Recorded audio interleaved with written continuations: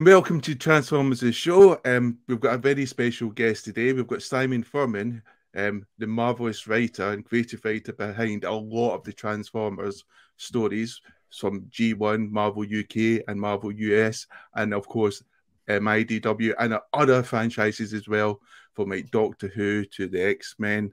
Uh, I think in television, cartoons, and um, other stories. A whole plethora of amazing stories out there. Um, you've got your hosts, um, myself, Jamie, um, Andy, and Alexis.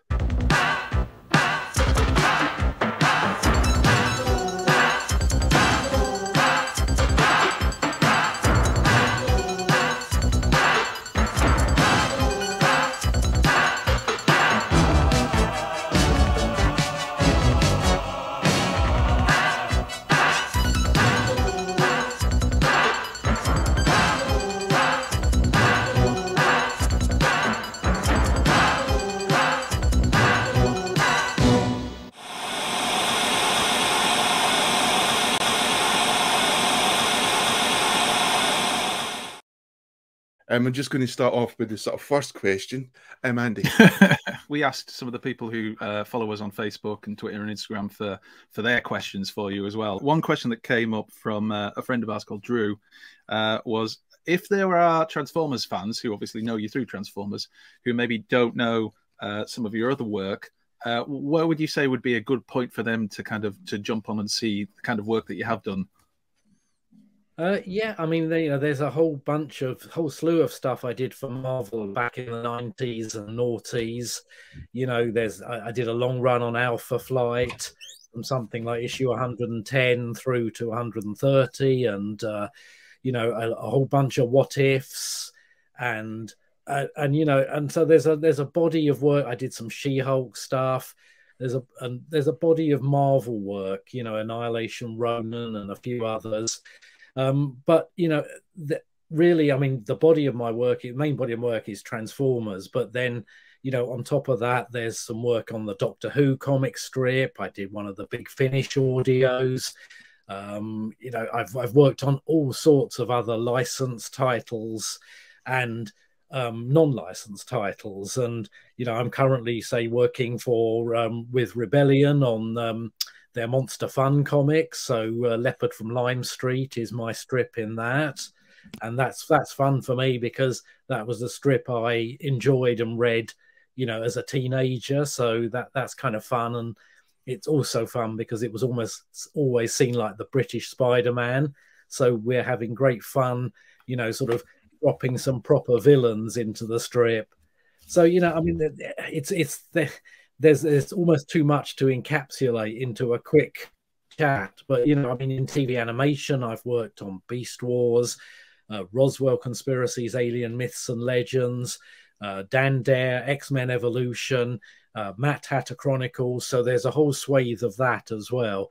And I write currently for Earth Wars, Transformers Earth Wars, the game, and you know i'm doing a bunch of other games work at the moment. So yeah you know it's it's hard to kind of say go here. You know i've worked on a lot of different things. You know i've, I've worked on robocop i've worked on terminator comics you know so there's a there's a great swathe of other stuff that's non-transformers. Yeah brilliant. Thank you Fantastic. Dan Dare stood out there because my dad used to tell me bedtime stories of Dan Dare, and Darth Vader was always the bad guy in those bedtime stories. So Dan Dare's got a small place in my heart there. Um, following on from that, we've got um, a, a, question from uh, from Bisto, Bisto Yeti, another another YouTuber. Um, he he asks, uh, I guess, you know, off off the back of that, um, can you can you drop us any anything specific about uh, the Astrobot comic which is coming out, or have you got anything you want to share on that at all?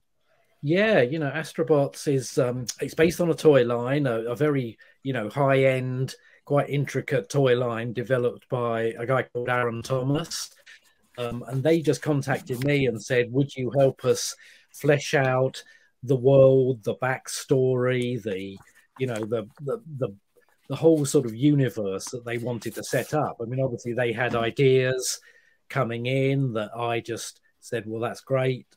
We could do this and that," and and you know, it's it's real sort of it, it's it's almost. I mean, even though they are mechs, robots, it's very much got a more sort of sci-fi sweep, I suppose, than Transformers. You know, it's less focus on action adventure and more on political intrigue and you know the world that's set up. I mean, the, you know, the, the gist of it is that in the future, Earth is pretty much tapped out, and they send out missions into space to find colony worlds.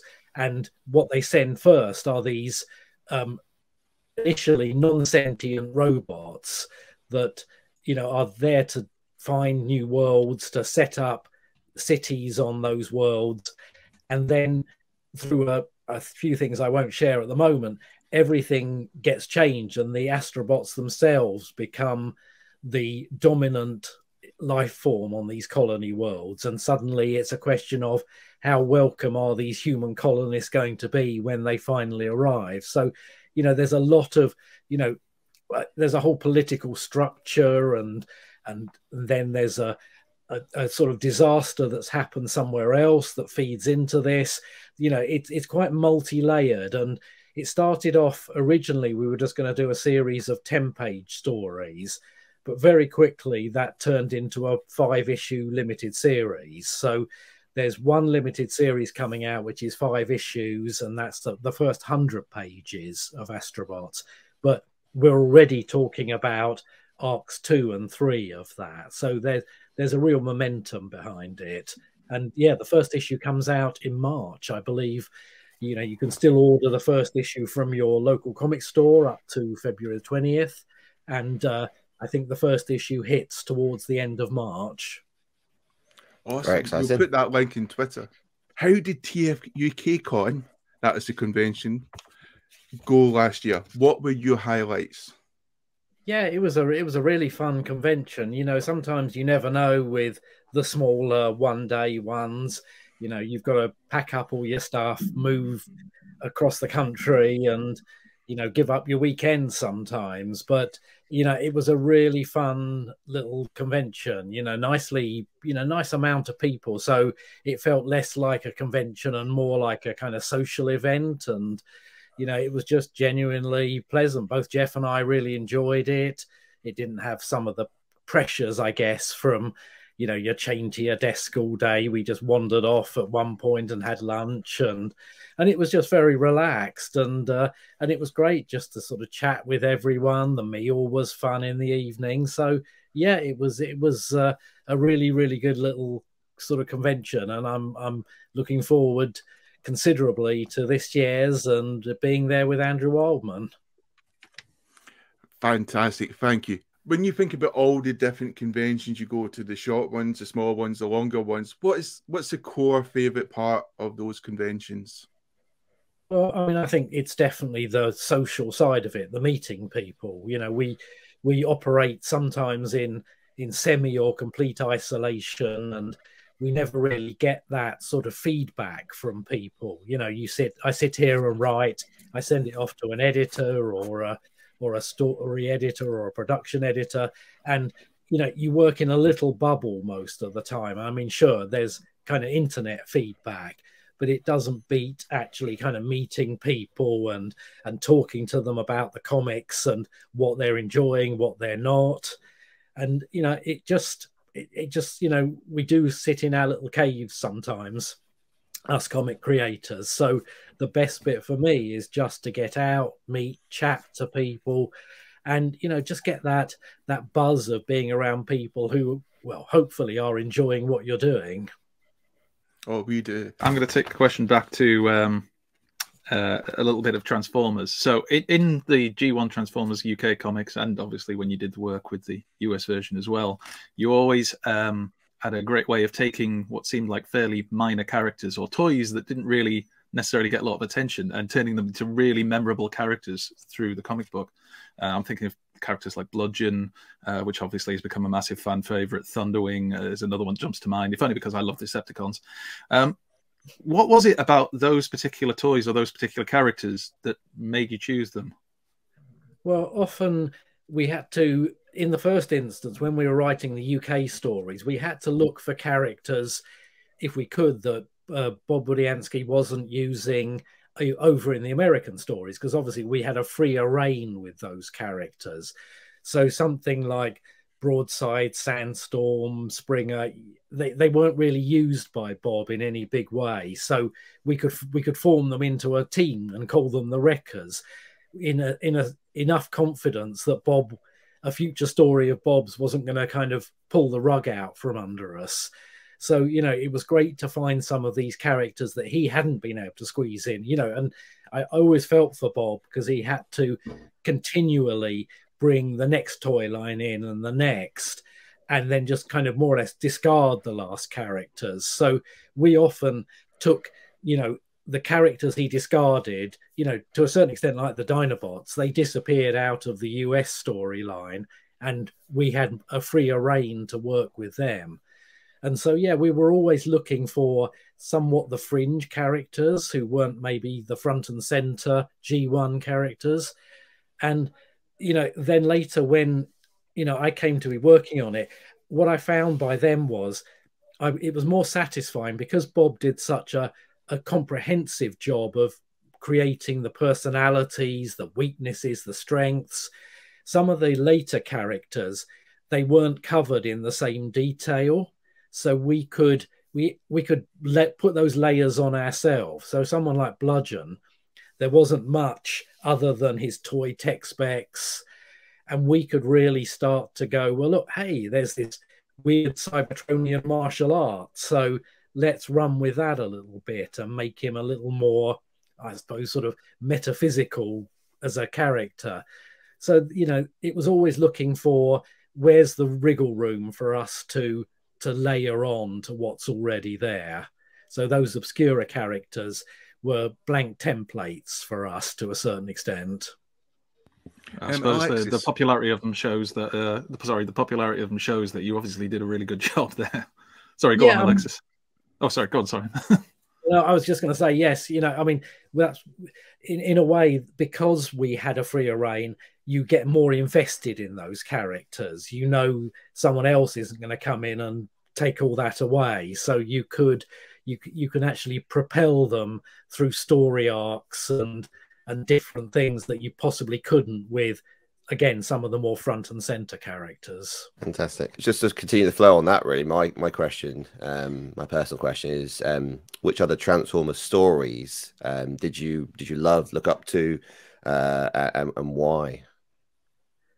Well, I mean, you know, we were always very aware of what the uh, Marvel America were doing, and you know, we had to be. We were lacing our stories into those, so you know, we we really wanted to kind of make it seem to the readers of the UK comic that it was all one through storyline, not American and English stories meshing. So, you know, we were always trying to keep within the vein of what Bob was doing over on the US comic so you know, we we we kept watch, but you know, Bob did some great stories in there. You know, his return to Cybertron was the spur to many of my stories with Straxus and other characters. So, you know, they, they were very important. And Underbase became part of Regeneration One. So, you know, we were always looking at what Bob was doing with a view to, well, can we expand on that? How does that fit with what we're doing? Can we, you know, entwine the two storylines even tighter? And, you know, just generally then, you know, the, I think the bit of storytelling that impressed me most was the Beast Wars animated TV series. Once I was aware of that, because there just seemed to be real drive and and and just sort of proper sci-fi storytelling behind it, humor, you know, and then oh, they look, they've started to take it and immerse it back into G1, and I found that very sort of inspiring as well. Just watching what Bob and Larry and the other writers were doing over on Beast Wars. Thank you, Simon. What are you looking forward to this year? And what one piece of advice would you give to someone attending a convention for the first time? Well, taking the first one uh, this year, I mean, I'm looking forward to, you know, getting back out on the road, which you know, sort of it goes into a kind of winter lull, really. So, you know, I'm I'm off on the road. I'm I'm at London Comic Con at the beginning of March. Um, I'm going to be uh, at a couple of other unannounced conventions yet, and then of course TF UK Con, uh, and you know it, it's it's definitely that's what I'm looking forward to most in some ways is just getting back out, but also bringing with me some of the new things I'm doing, like Astrobots, which is very exciting. I'm also gearing up for another self publishing uh, venture. Uh, we had To the Death, which obviously we still have and still take to conventions with us. But I'm releasing a, um, a, a crime noir graphic novel with an artist called Martin Stiff, uh, which is called Five Points. Quite a change of pace for me, but I think you kind of know if you've seen my Transformers writing that I love sort of detective fiction, crime fiction, and I've laced that into stories with Nightbeat and other characters. And so this is this was just a chance. Martin, um, he's he's only done a couple of things, but they're both quite sort of different to my usual fare. You know, he's done a, a, one graphic novel called Tiny Acts of Violence and another called The Absence. And I kind of felt I just had to, if I was going to work with him, I needed to do something more in the vein of those. And uh, Five Points, like I say, is, is quite a, you know, it, it's a one shot graphic novel and you know hopefully we'll build to more of those. So i'm very excited. We're going to go um, the route of printing uh, via amazon their print to order schemes so we will be releasing and it will be available worldwide you know on a print to order basis. So again it's a sort of new thing for us. We did to the death slightly differently but with this we're we're looking to say, well, look, it's just available worldwide. You don't need to go to a comic store or order on, you know, a, a comic website. It's just an Amazon product. And the great thing with print to order is, you know, you literally order it one day, it's printed, and it comes the next day. So. Uh, very excited about that, and uh, and just generally, like I say, getting out on the road, meeting people, and you know, in the second part of your question, I would say to people coming to a convention, you know, come come with stuff you want to get signed. You know, don't sort of uh, forget. Uh, you know, the number of people who turn up at my table at conventions and say, you know, I really meant to bring my Death's Head collection with me or my Dragon's Claws. You know, bring them out, bring signed. You know, it's there we go. Yeah, that's you. You know, yeah, you know, I mean, I, I always at conventions have stuff with me. I normally bring a comic box or two and other stuff, but you know, definitely if you've got a kind of treasured comic that you want to get signed, bring it along with you. I'm always happy to do it. awesome. Thank you. My question, I'm, I'm going to ask a, a, more of a personal question here, um, because you are still so involved, uh, thankfully, in, in, in, so much of the, the Transformers franchise and the writing for it. Uh, my favorite character uh, and toy for, as a child was always Double Dealer, who featured in this kind of one shot story that, that you wrote for the UK comic. Is there any chance do you think that uh, you could sneak him into a future story where he doesn't get killed very rapidly? Because that tends to be the case with him in most of the media i've seen recently. Yeah we're using him in earth wars at the moment. He's one of the characters they've introduced into the game so the little saga stories that run parallel to the game he's one of the characters i kind of feature whenever i can because he's a fun um, character who I never really dealt with much on the original comic, a bit like um, Punch Counterpunch, who I'd never used before, yeah. but was absolutely perfect for Transformers 84. So, yeah, you know, definitely a chance that, you know, I'll use him in other media depending on what I'm doing on Transformers in the future. I'll keep my fingers crossed. First part's my question. The second part's you and Cam's really from from Facebook. Um, so it, obviously you created Death Heads, Death Heads, which is an amazing character.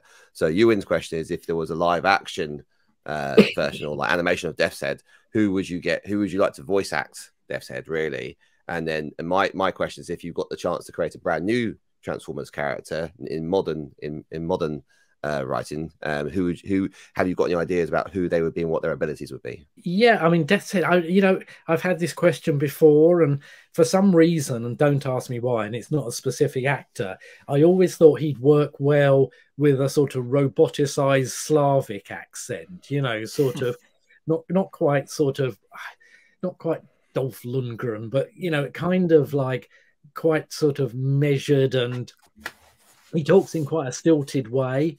So I thought, you know, he would probably be quite a slow, specific speaker. And for some reason, it always seemed to work better in my head if he had a slightly, you know, sort of Eastern European accent. But I don't really have a specific actor in mind. and always, I mean, I'm always looking, you know, I mean, with To the Death, we introduced a whole new cast and world of characters, and we did our uh, our own sort of bounty hunter killer called Killer Toa, who appears in that. And you know, again, you know, I love, I just love these sort of merciless killer types. They, they're they're always fun to write, but you know, always with a hopefully with a slight twist to them.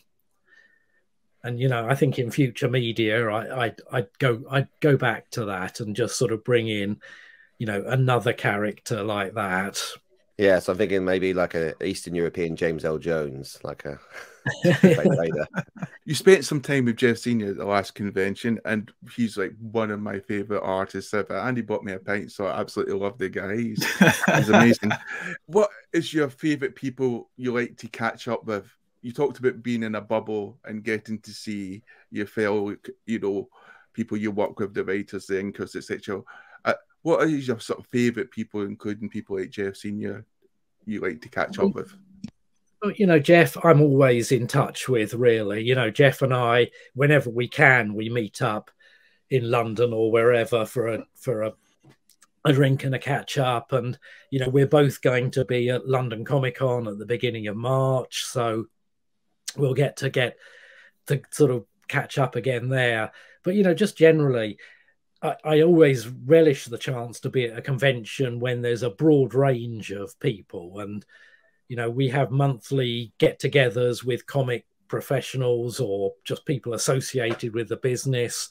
And so, yeah, any any of the social sides I absolutely love, and and that's the great thing with conventions. And this, you know, this year at TF TF UK Con, I will get to be with Andrew, who I actually haven't seen apart from a very brief run in at a convention last year.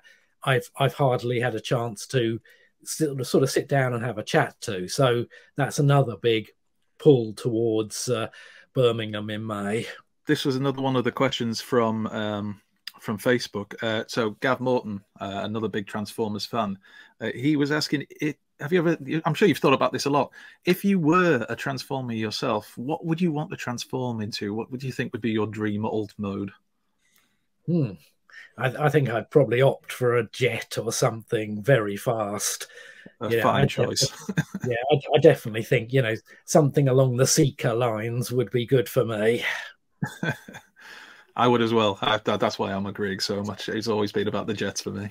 This is Drew from Facebook. I've altered his question slightly. Stan Lee always appears in um, his his his uh, his uh, writing. So I remember seeing him in the Amazing Spider-Man. He appeared in the last episode of the that that Marvel version. Obviously, he appeared in a lot of the live action movies as well.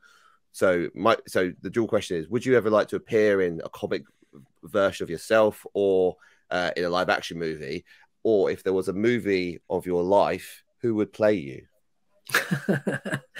yeah, that's a good question. Um, in the first instance, I you know I would love to be in a walk-on part in a Transformers movie someday. That that would be great fun. You know, absolutely. I mean, you know, it's it's we're coming up rapidly on the 40th anniversary of Transformers. So, you know, I mean it it would be almost the fulfillment of a career thing to be, yeah, just little cameo walk on in a movie sometime. Um, God, who played me? I don't know. Um, you know, who's young, handsome, and uh, you know, sort of, uh, you know, just would would possibly kind of do me justice. you know.